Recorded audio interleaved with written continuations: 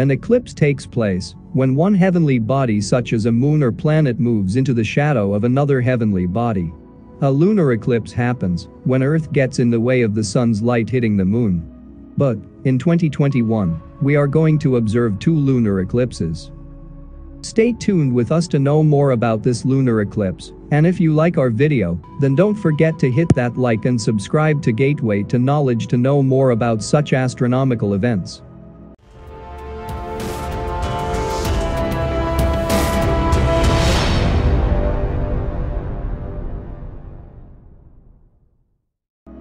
Before starting this journey, let me tell you that there are three types of lunar eclipse which include total lunar eclipse, partial lunar eclipse and penumbral lunar eclipse. If we look back, then previously we had a total eclipse of the moon on January 21, 2019. But now on May 26, 2021, the full moon will sweep through the Earth's shadow to stage a short-lived total eclipse of the moon. Although in total it will last for just 13 to 15 minutes, this lunar eclipse will first be followed by a partial lunar eclipse, and then we will observe a total lunar eclipse.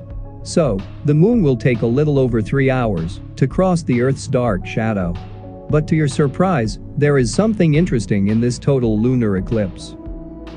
This full moon in May counts as the closest and the biggest full moon of the year, coming about 100 miles closer to Earth.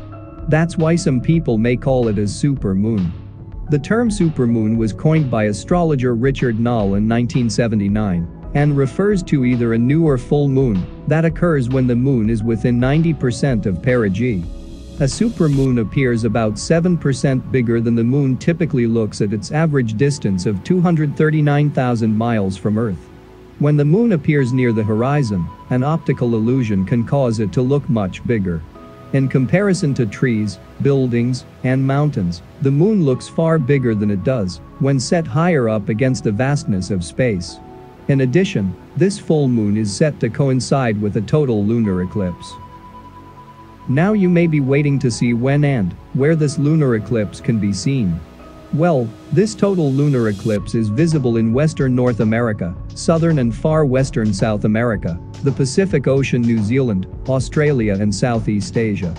From the Americas, this eclipse takes place in the early morning hours before sunrise on May 26, whereas from the world's eastern hemisphere including New Zealand, Australia and Southeast Asia, the eclipse occurs in the evening hours after sunset on May 26. So, keep observing the sky to see this lunar eclipse because it will last for quite a short time.